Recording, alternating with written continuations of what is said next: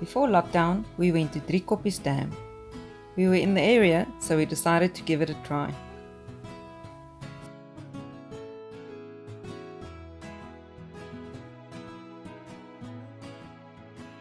No, we don't have a boat. We don't have a boat. But we it need a will be boat? Difficult.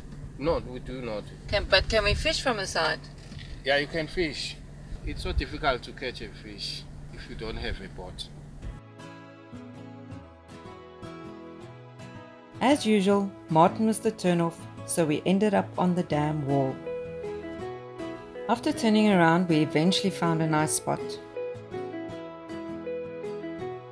In the short time period we had, the fishing wasn't bad. Despite not having a boat, we caught lots of small bass between the grass.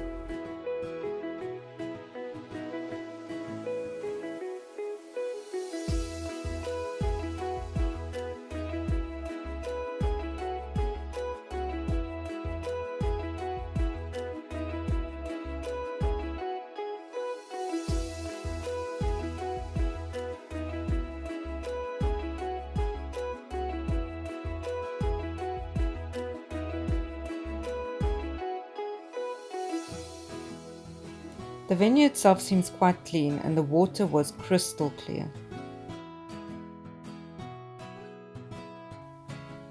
And after trying out a few more spots, we had to head home again.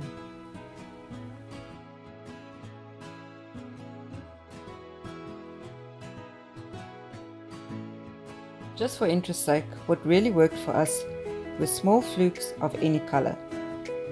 In terms of location, Driekoppies Dam is south of the Kruger National Park and just north of the Swaziland border.